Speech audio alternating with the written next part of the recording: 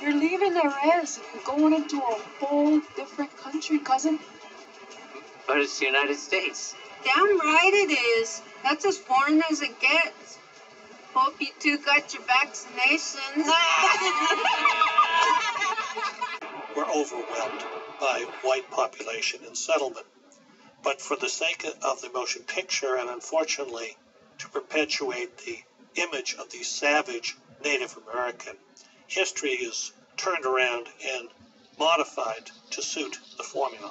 Thanks to Hollywood, this country refuses to face what happened to Indian people. It takes a blue coat to make a white man a soldier. But a Cheyenne is a soldier from the first slap on his butt. War is his life.